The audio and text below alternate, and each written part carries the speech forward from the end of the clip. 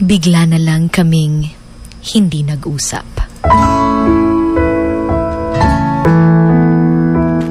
Wala na yung dating kilig. Wala na yung dating spark. Wala na yung dating kumain ka na. Kumusta ka? Sunduin kita mamaya ha. Lahat yon napalitan na ng bigla na lang siyang di nagparamdam at nagpakita. Sakit sa, kanang makaingon ka nga, tarong pamanunta kaayo ta atong una. Wala ka nagkuwang sa iya ha, pero kalitra siya nawa og wa na gistorya. Yung bigla na lang kayong hindi nag-usap. Pinangako niya pa sa'yo na kahit kailan, ang pag-ibig niya sa'yo ay hindi magbabago. Pero nasa na yung pangakong yun? Nasa na yung mga sinabi niyang walang iwanan hanggang sa dulo? Nganong kalitraman ka ay siya ni Bia sa imo. Yung nakakalungkot pa eh yung bigla ka nang in-unfriend nung una hanggang sa blinak ka na sa mga social media account niya. Deserve naman siguro nating malaman kung bakit. Kung bakit bigla na lang siyang nawala. Kung bakit bigla na lang siyang hindi nagparamdam. Pero siguro ganun talaga siya kadaya. Dumating sa buhay natin, minahal natin, biglang nawala nang hindi mo alam kung bakit. Hanggang sa hindi ka nang din nagparamdam sa kanya dahil baka nakakadistorbo ka na. Hanggang sa nag-overthink ka na kaagad na baka kaya hindi nagpakita dahil nagsawa na. Na baka kaya hindi na nagpakita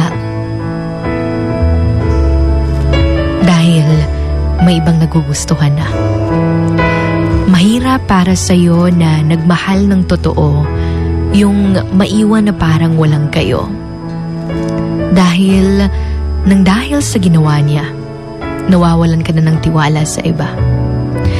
Nawawalan ka pa ng kumpiyansa sa sarili, pati ang imong gugma para sa imong kaugalingon. Nawa na. Mahirap kaya yung ganto.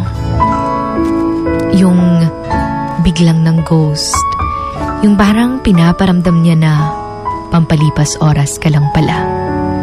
Sakit baya dahil hanggang ngayon, naghihintay ka pa rin ng sagot na di mo alam kung masasagot ba talaga. Ang sakit ng walang paalam. Parang may pira-pirasong alaala yung naiwan. Kapag ginost ka, remember that no response is response. If they wanted to, well, they would.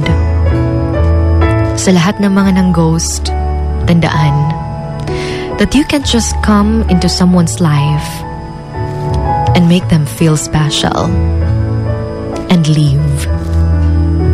Sa lahat naman ng mga ginost, remember that the ones who truly love you will never leave you.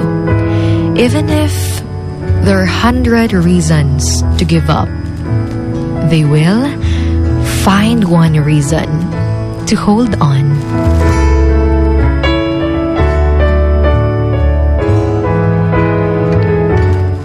This is your Hugot Babe, Sugar Dolly, on 103.1 Wild FM, and this is Emotions Going Wild.